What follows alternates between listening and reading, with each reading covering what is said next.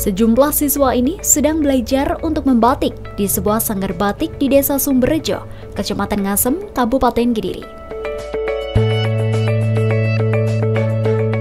Para siswa terlihat antusias dan bersemangat untuk kembali belajar membatik secara bersama-sama.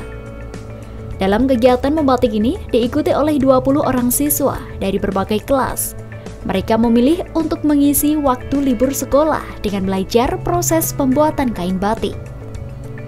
Selain mampu mengasah keterampilan, kegiatan membatik ini dipilih para siswa karena dapat digunakan sebagai ajang melepas kerinduan belajar bersama selama tidak ada aktivitas di sekolah. Penggunaan masker dan pengaturan jarak fisik pun diterapkan untuk mencegah penyebaran COVID-19. Selain itu, pembatasan waktu pelajaran selama satu jam juga diberlakukan.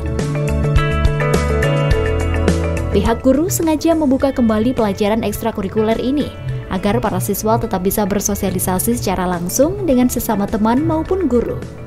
Selain itu, pelajaran membatik ini diharapkan mampu diterapkan para siswa selama di rumah, sehingga para siswa tetap bisa berkarya dan produktif selama program belajar di rumah.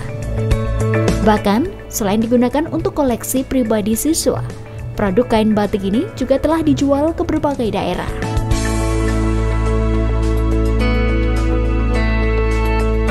Mereka belajar mulai dari proses awal membatik hingga finishnya, mulai menggambar, mencanting, mewarna, menggodok batik, hingga selesai untuk dijadikan seragam mereka.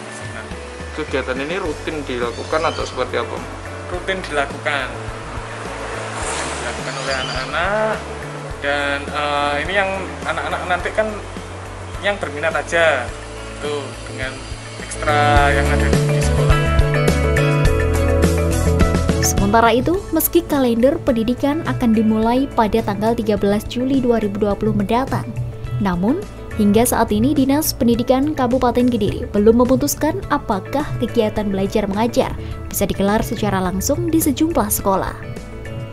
Dari Kediri, Unggul Dwi Cahyono, Muhammad Zainur Rofi melaporkan.